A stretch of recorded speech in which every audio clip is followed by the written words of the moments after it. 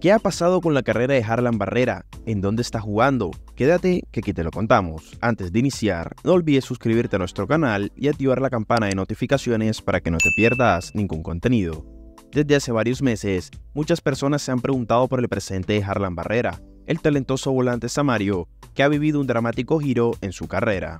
Desde que ese penal decisivo en la final contra Millonarios causara conmoción, su vida futbolística ha cambiado radicalmente. El ex junior de Barranquilla pasó de ser el 10 de Atlético Nacional a estar borrado por completo.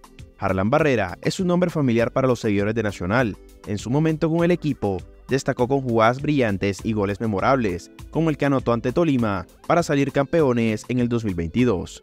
Sin embargo, su último momento en el club ha sido de controversia y mucho más si hablamos del famoso penal en la final ante Millonarios y su drástica caída en rendimiento que se venía mostrando en los juegos previos al encuentro ante el cuadro azul.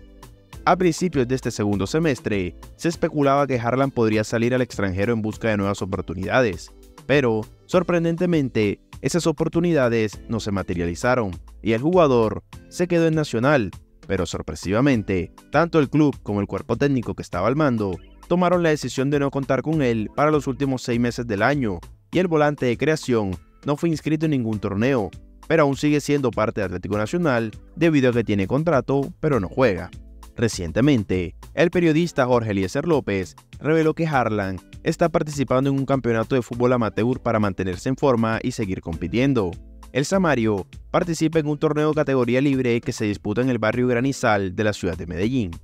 Este video ha causado muchos comentarios en redes sociales, dado que la gente se preguntaba por la situación del 10. Incluso, algunos hinchas señalan que tendría opciones de regresar, dado que es mejor que varios jugadores que están actualmente en la plantilla.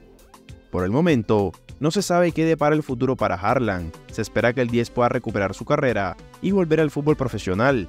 ¿Qué opinas de la situación que vive Harlan? Deja tu opinión en los comentarios. Nos vemos en un próximo video.